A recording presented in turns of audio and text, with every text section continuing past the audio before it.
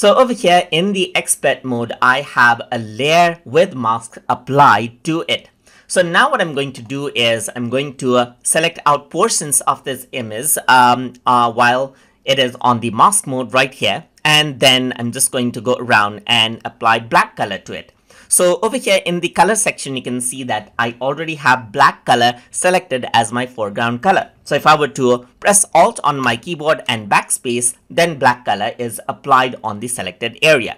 Now I'm going to go around select and uh, uh, do a new selection and click and drag around and do another selection press alt backspace over here as well and go around alt backspace over here as well let me just press Ctrl D right here and you can see that this is the selection that I made.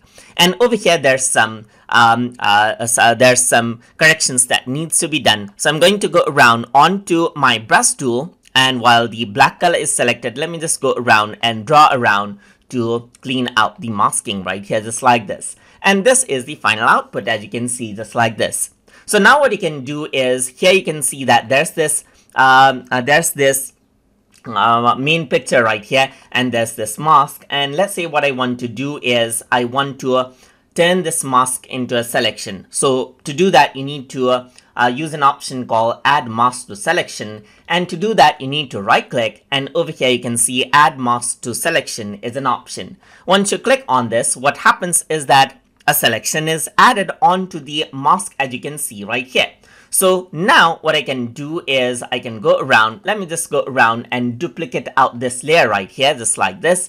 And the selection is still active. And from the top layer I'm going to go around and remove out the mask. So I'm just going to go around and delete the layer mask right here from the top. But the selection is still there as you can see. So now I can use the move tool right here and then move it out and you can see that from the mask uh, I, I made it into a selection and I can move this out over here just like this so that is how you can add mask to selection inside of Adobe Photoshop Elements. So I hope you guys learned something as always.